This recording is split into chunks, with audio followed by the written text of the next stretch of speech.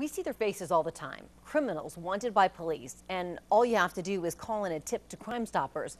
You don't even have to leave your name. But how does that work? And who's getting paid by Crime Stoppers? Melissa Luck has the answer in tonight's Good Question.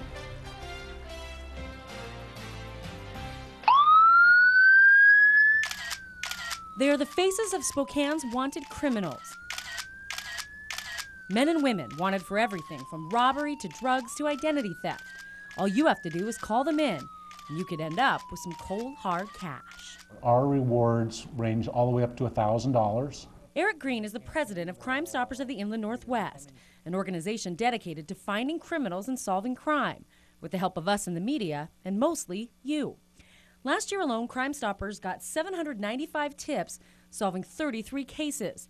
Tipsters received more than $3,400 in cash rewards. Who got that money? Not even Crime Stoppers knows for sure. They don't have to give their name or identity at all. They're, they're identified with a code word, a code number, a, a name that they made up or something. And that whole you don't have to leave your name to get a cash reward thing isn't just a tagline. Crime Stoppers doesn't know the names of its tipsters and won't reveal how they pay those nameless, faceless crime fighters. And that's a secret. But they do have a pretty good idea of the type of people they're paying.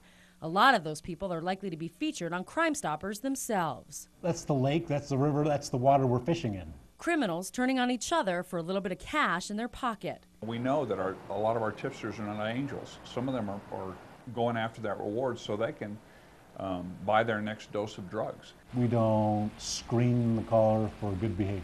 And if the Crime Stoppers program proves one thing, it's that there's no honor among thieves. We've had moms uh, rat out on their sons and daughters. It's the partner in a, in a relationship gone bad. We've had brothers rat out on their sisters. Best friend who burned, got burned. Ex-wives and ex-girlfriends are an excellent source of information for law enforcement. In the end, as long as the crimes are solved, Crime Stoppers says it doesn't matter who's doing the cash-inspired tattling. And the system, with half a million arrests nationwide, seems to be working. Uh, we've had tips that solved homicides. Uh, we've had tips that have solved some very significant crimes. With this good question, I'm Melissa Luck, KXLY4 HD News.